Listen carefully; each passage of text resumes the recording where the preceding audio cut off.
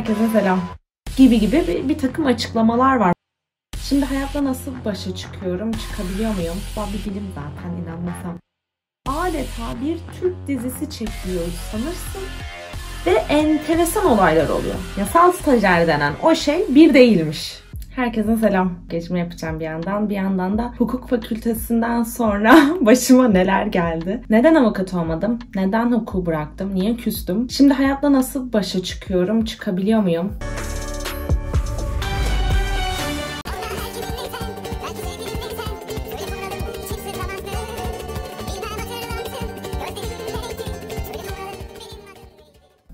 Hayatımla ne yapacağım sorusu var ya ve bunun önünü alamadığın akabinde gelen bir sürü başka soru ve bunalım. Bunları biraz anlatmak istiyorum. Çünkü şu an benim de fark ettiğim, etrafımda gözlemlediğim kadarıyla birçok insan özellikle hukukta yani işini yapmayı sevmiyor, mesleğini sevmiyor. Bir yandan da hepimiz de mesleğinden bağımsız bir şekilde ben hayatımda ne yapacağım sorusu büyük bir soru işareti olarak kalmaya devam ediyor bir yandan. Ben başlayayım, bir yandan da konuşayım. Umarım bu video güzel bir video haline alabilir. Çünkü yani kendimi de göremiyorum. Makyajımı da biraz garip yapacağım gibi gözüküyor. Zaten yüzüm de bir garip duruyor. Saçlarım olmadı. Ben bu saçı kendim kestim. O da bayağı belli oluyor şu an. Çünkü kuaförüm de çok kötü kesmişti. Ben de ona kıstım. Sen misin kötü kesen? Ben daha kötü keserim. İnşallah video ile makyajı aynı anda yapabilirim. Çünkü ben hem konuşup hem de bir iş görebilen bir insan değilim. Yani 2-3 işi birden yaparım. Sağ elimle sol elimle de bir arada çok güzel kullanırım ama bir şekilde yani hem konuşup hem de fiziki bir aktiviteyi yapmakta biraz zorlanıyorum. Dikkatim çok dağılıyor. Çirkin bir ifşa videosu gibi olacak bu ama yani dediğimi yap yaptığımı yapma derler ya ben gerçekten çok kötü makyaj yapan bir insanım. Bocalama böyle badana yapar gibi suratımı boyuyorum. Hiçbir zaman makyaj kültürüm de olmadı zaten. Ta öğrencilik hayatımın başına kadar gidesim var bugün. Çünkü bu hikayenin gerçekten anlamlı olması için biraz geriye gitmem de lazım gibi hissediyorum. Ben hiçbir zaman ailesine masraf çıkaran bir çocuk olmadım. Özellikle eğitim konusunda. Yani onlar da çok teşekkürünü etmiştir sağ olsunlar ama yani bu zamana kadar 6. sınıfta gittiğim dershaneden tutun da üniversitesine kadar hep tam burslu okudum. Bir gün bile para ödediklerini hatırlamıyorum okula. O yüzden başarılı, umut vadeden denilen tipte bir öğrenciydim. Üniversiteye hazırlanırken de tabii çok bir şey bilmiyorsun yani. Daha üniversitenin ne olduğunu bile bilmiyorsun. Bir de meslek hayatına dair bir seçim yapıyorsun. Bence çok büyük bir şey bu. Ve bizim ülkemizde de çok kötü şartlarda zaten öğrenciler buraya geliyor. İşte yarışıyoruz çatır çutur, koşturuyoruz falan. Kırbaç çat çut çat. Ondan sonra sınava giriyorsun ya işte hüsran oluyor ya da çok mutlusun. Müthiş bir derece yapmışsın ama sonra işte benim gibi olabiliyorsun. Çünkü derecenin bir anlamı da yok. Şu an bugün aslında üniversite sınavına hazırlanan falan çocuklara anlatmak lazım. Yani gerçekten üniversite sınavında ne yaptığının hiçbir önemi yok. Olmadığı gibi hayatta ne istediğini de üniversiteden çıkınca dahi bilmeyebiliyorsun. Benim de aynen öyle oldu. Ben bu zamana kadar yazmaya ve okumaya hep ilgiliydim. O yüzden hukuku da kendime çok uygun buluyordum. Hani işte hak aramak olsun. O bir şeylerin mücadelesini vermek olsun. İşte bir yandan o zamanlar şeyi hayal ediyorsun. Mahkemeye çıkıyorsun işte çat çut savunuyorsun falan. Bir yandan üniversite geliyor, topukları giyip plaza avukatı olma hayalleri başlıyor falan. Biraz biraz böyle açılıyorsun ve hukukun sana vaat ettiği bütün şeylerden azıcık azıcık hayal etmeye başlıyorsun. Ben de işte üniversiteye girerken de benim çok sevdiğim yaşam koçumduk bir de olan bir hocam vardı. O da benim derece yapmamı çok istediği için ben kendim o kadar istememiştim mesela. O da çok istiyordu. Hep beraber el birliğiyle bana, bir derece yaptırdık. O zaman da benim hep böyleydi hayatım.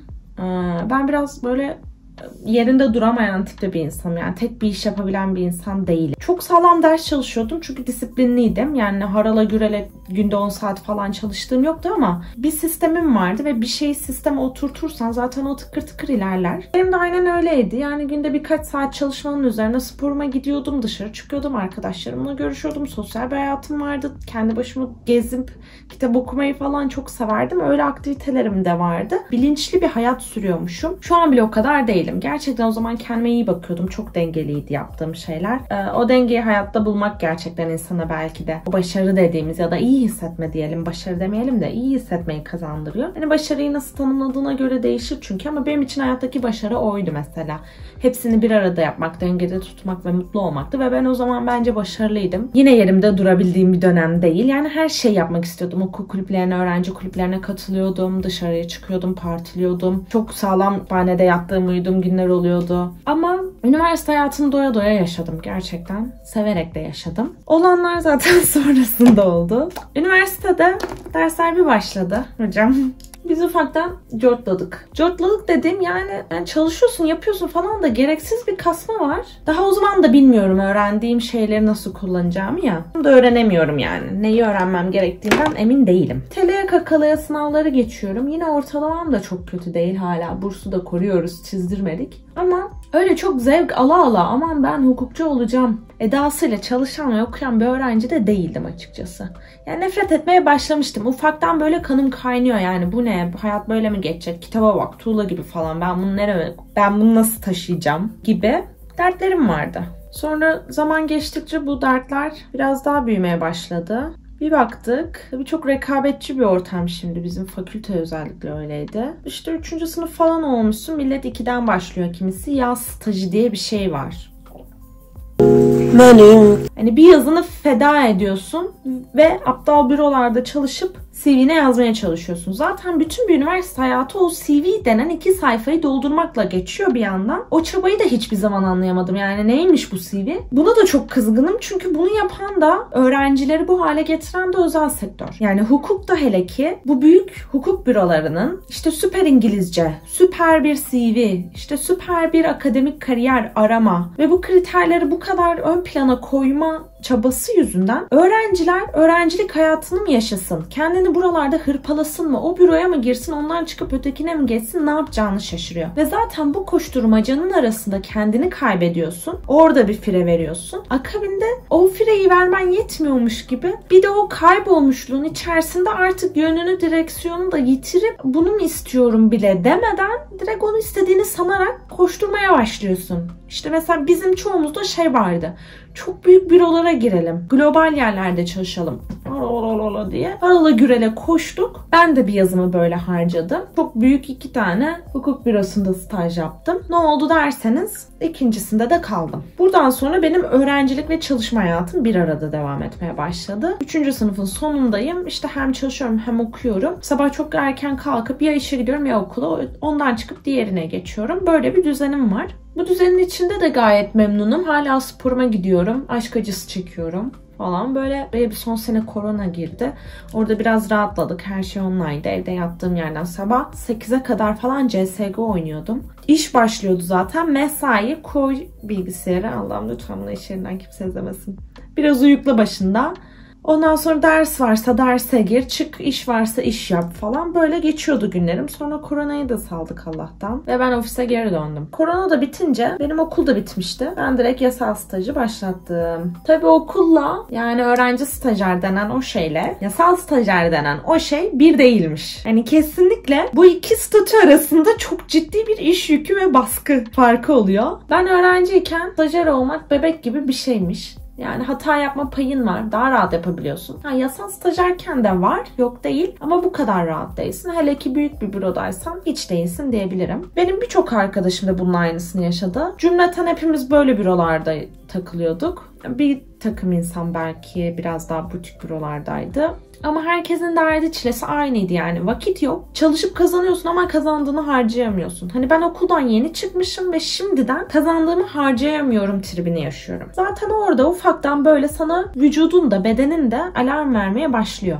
İşinle ilgili, hayatının gidişatıyla ilgili bir kaygın varsa önce vücuduna bak. Sana ilk uyarıyı bedenin verir. Vücut ağrıların olabilir, hastalıkların olabilir. Depresyon gibi algıladığın işte yataktan kalkamamalar vesaire bunların hepsi birer gösterge aslında. Onları es geçme ya depresyondayım deyip geçme.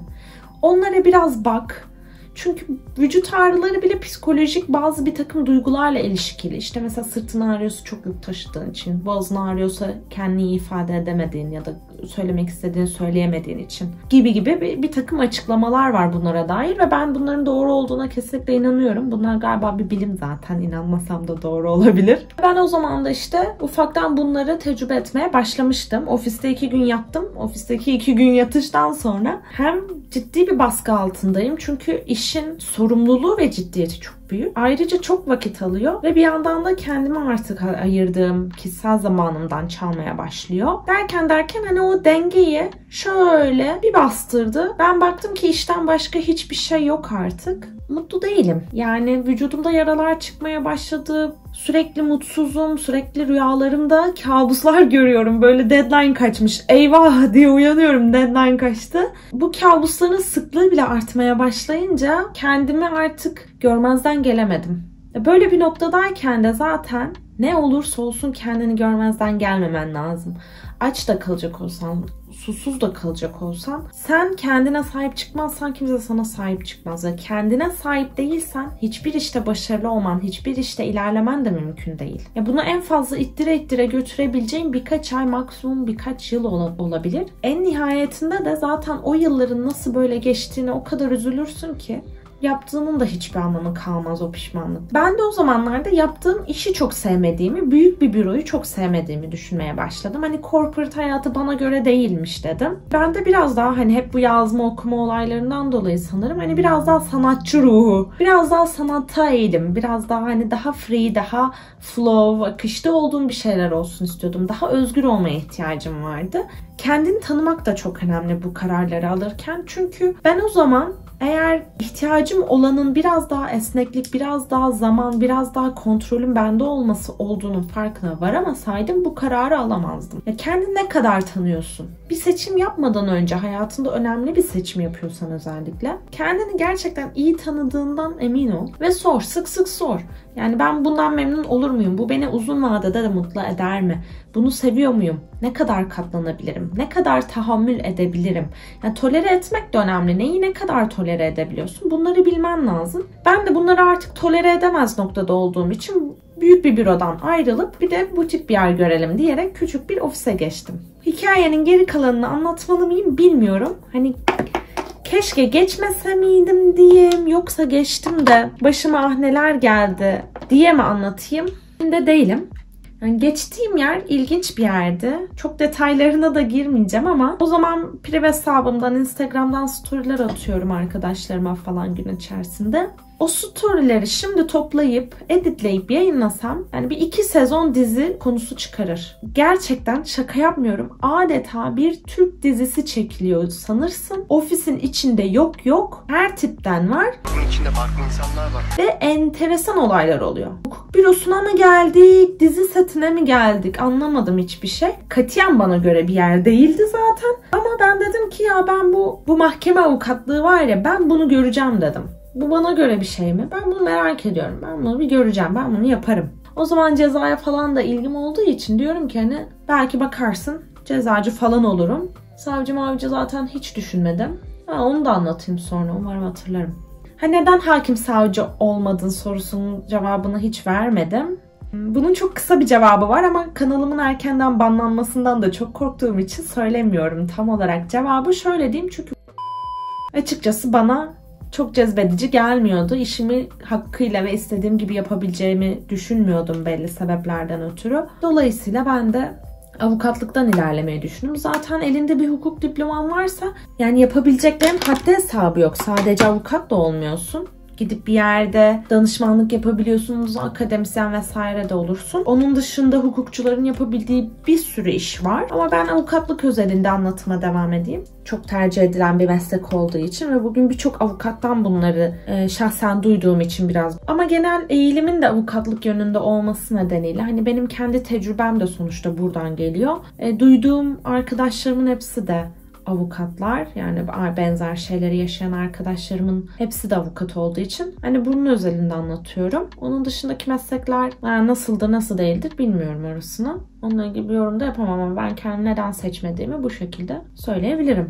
Sonra yolculuk şöyle devam etti işte. Bu büroda enteresan olaylar olmaya devam ediyordu. En son böyle sezon finali tadında bir olay yaşandı ve ben bürodan ayrıldım. O noktada artık hukuka da küsmüştüm. Çünkü bu mesleği istediğim gibi yapamıyordum. E, yaptığımın karşılığını da alamıyordum. Ve yaşanan olaylar özellikle camiada hani etik dışı çok fazla olayın olması beni tamamen bu kurduğum hayallerden kapkaranlık bir gerçek çiftliğin içerisine attı. Ve ben orada böyle bocalayınca anladım ki bütün bir hayatımı işte üniversitenin başından beri belki biraz daha öncesinden beri sorgulayıp ben gerçekten olmak istediğim yerde miyim sorusunu sordum kendime. Ve bu herhangi bir zorlukla karşılaştığında yaşadığın yılma hissi, demotive olma, bıkkınlık, yorgunluk gibi bir şey değildi artık. Bu bir anlık bir karar, bir anlık bir sinir de değildi. Boylu boyunca gözden geçirdiğimde ben bunu yapmaktan zevk almadığımı, hayatımı bu şekilde geçirmek istemediğimi, buranın bana göre bir alan olmadığına karar verdim. Ama bu kararı vermekle bitmiyor tabii. Bu kararı verdikten sonra peki ben ne istiyorum sorusu başlıyor. Benim de çok takıldığım yerlerden birisi bu oldu. Ben ne istediğimi hiç bilmeyerek ayrıldım. Ben B planımı yaparak çıkmadım o işten. Ki ben her zaman bir B ve C ve D planı olan bir insan olmama rağmen burama kadar geldi demiyorum da artık kendimden o kadar uzaktım ki bu kararı vermek zorundaydım ve bu kararı verirken bir B planı yapmak için bir gün daha geçiremeyecektim. Burada biraz da kendini önceliklendirmek söz konusu oluyor. Benim hikayemde en azından böyleydi. Hiçbir B planım olmadan çıktım. Sonra iki aylık bir dolanma dönemi oldu. Evdeyim, ağlıyorum. Ağlama sebebim de hukuk hukuku özlemek, hukuka geri dönmek falan değil. Tamamen ben nasıl para kazanacağım, ben nasıl yaşayacağım tadında zırıldamalar. Yani bunu da yaşamamızın sebebi aslında ülkecek içinde bulunduğumuz sosyoekonomik durum diyeyim yani. Çünkü ben bu yaşta ben nasıl yaşayacağım, nasıl geçineceğim kaygısını bu kadar ağır duymamalıyım. Ama duyuyorum. Ne yazık ki bugün bir işim olduğu halde de duyuyorum bu kaygıyı. Yarınımdan emin değilim. Ve bu gerçekten hepimizin bir problemi. Sadece senin benim değil. Benim annemin de bir problemi. Yani emekli olan babam bile gerçekten yarınını bu kadar düşünmemiştir hayatında eminim. Şanssızlık diyelim. Coğrafya kaderdir denir ya. Bu coğrafyanın çocuklarının, bu coğrafyanın gençlerinin kaderi de biraz bu. Çok erken yaşta bu mücadelenin ortasına atılıyorsun ve nasıl başa çıkacağını hiç bilmedin. Çünkü sana hiçbir zaman öğretilmemiş bunlar. Burada tek başına bocalıyorsun. Yani kendini mi bulacaksın, kendini mi gerçekleştireceksin Yoksa evine aşını mı ayarlayacağım? Biraz makyaj yapalım ya. Çok çirkin çirkin kaldı. İki ayın sonunda kaldığım yerden devam ediyorum. İki ayın sonunda